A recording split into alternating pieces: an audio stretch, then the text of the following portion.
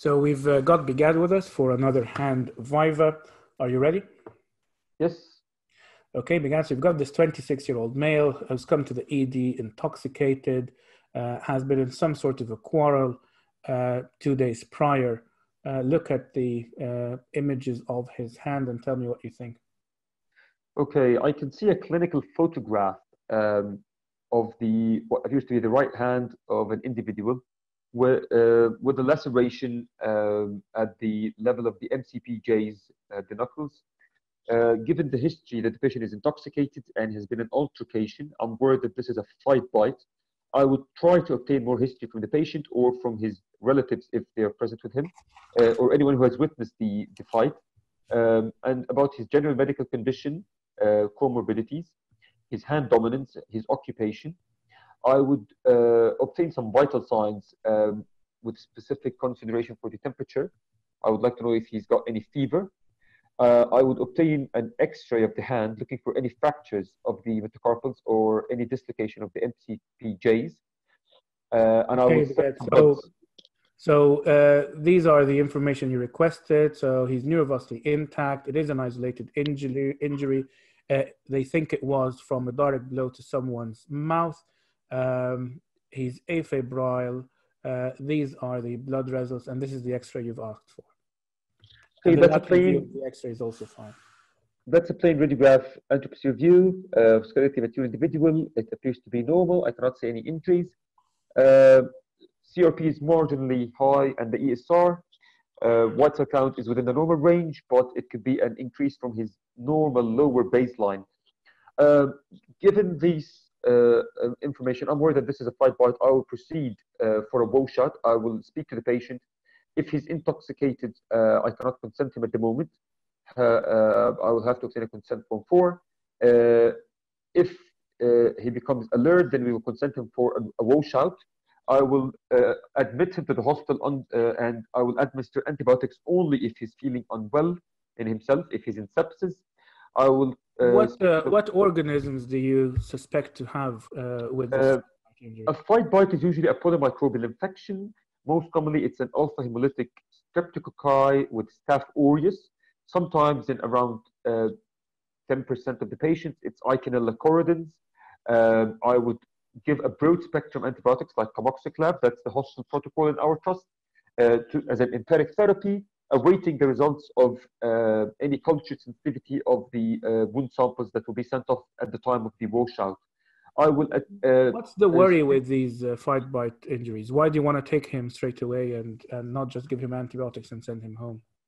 I am worried about the uh, septic arthritis of the MCPJ because usually with the uh, with the bite, uh, the capsule of the MCPJ is breached, uh, introducing the uh, bacteria into the joint, and with the release of a clenched fist, uh, the bacteria becomes trapped inside.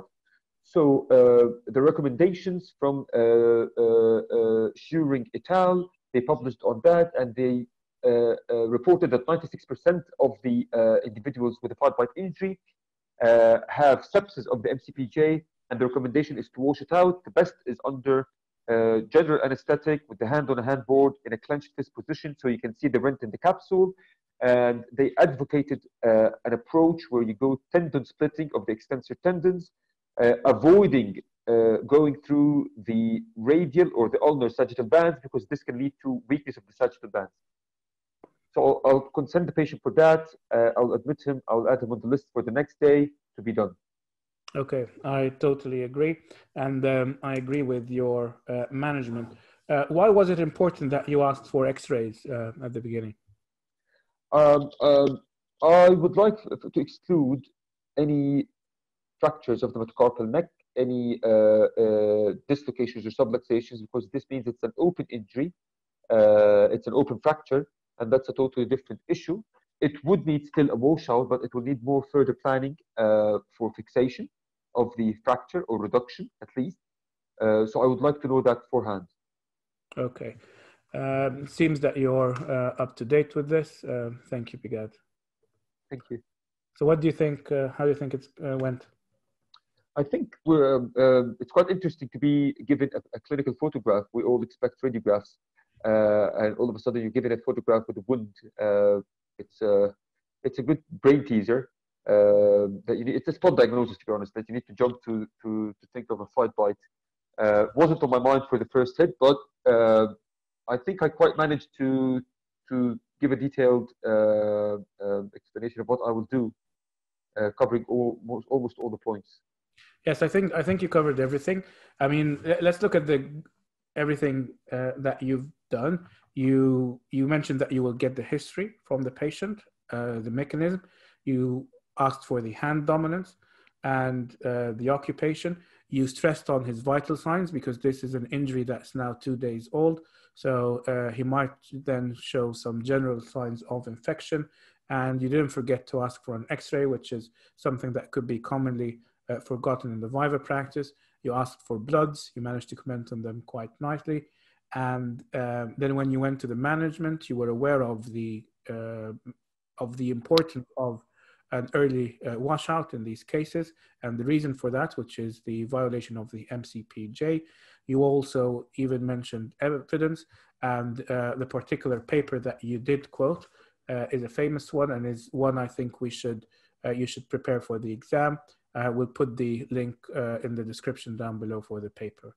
Uh, the organisms also, um, probably from practicing in part one of the FRCS, you would already be familiar with the organism.